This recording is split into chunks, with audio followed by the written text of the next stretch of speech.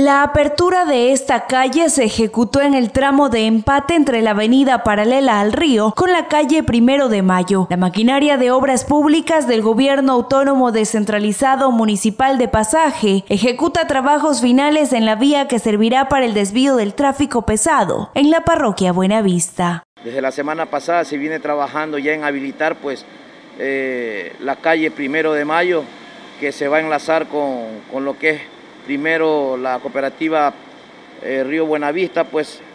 eh, número uno, lo que es 10 de agosto, hasta el monumento la, la Biblia, ¿no? Entonces yo creo que Buenavista empieza a cambiar la cara, empieza a mejorar. Es como se ha venido trabajando, seguimos trabajando, no nos detenemos, sabemos que la situación está crítica, pero la buena administración que viene realizando tanto nuestro alcalde junto a su equipo de trabajo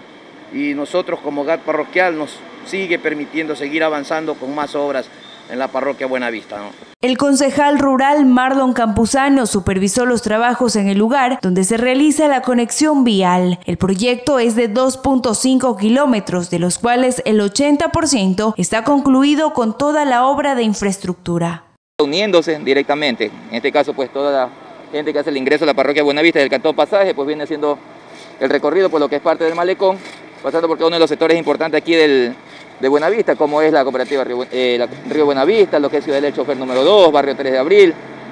Ciudad del Chofer número 1, terminando en el barrio Jorge Casa, lo que es el Monumento de la Biblia, para luego hacer su salido respectivo pues, hacia la ciudad de Santa Rosa. El proyecto de la avenida Malecón Río Buenavista tiene como objetivo ordenar el tráfico pesado, regenerar el área de movilidad a lo largo del balneario, recrear una ruta para caminata turística y ciclo paseo, para dar a los turistas que visitan el atractivo un lugar con infraestructura urbana y condiciones para un recorrido seguro hasta el monumento a la Biblia. Nos ayuda a fomentar lo que es parte del turismo de nuestra parroquia Buenavista,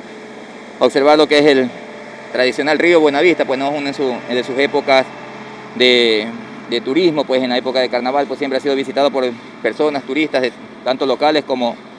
personas de otra provincia y de otros cantones. Pues no. En los próximos días procederán a colocar la iluminación en la calle para su posterior inauguración. La calle de desvío de tráfico pesado beneficia de manera directa a los habitantes de la parroquia Buenavista, pues el transporte pesado ya no circulará por la calle Bolívar, avenida principal del sector rural.